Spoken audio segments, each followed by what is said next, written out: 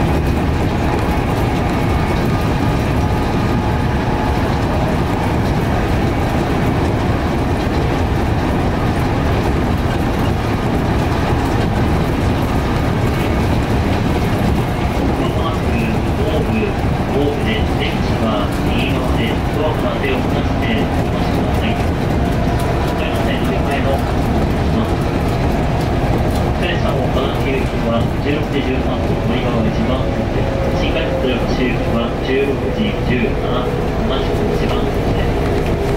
この列車は区間快速系統で東部で待つ乗り降りがまたは西高速に終電高きまで不意に停車をしてまいります。生産番東部でメインなど電池。は右側でドアから手を離してお待ちください。まもなく奥に到着をいたします。